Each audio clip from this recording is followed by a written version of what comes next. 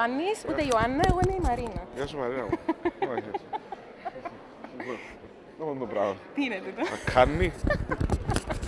Λοιπόν, έχω κοντά μου τον πιο κομικό, μπα- τον πιο σεξι, ναι, τον πιο κομικό ε, παρουσιαστή εγώ της είμαι Κυπριακής μετά ο Θάμας. τηλεόρασης.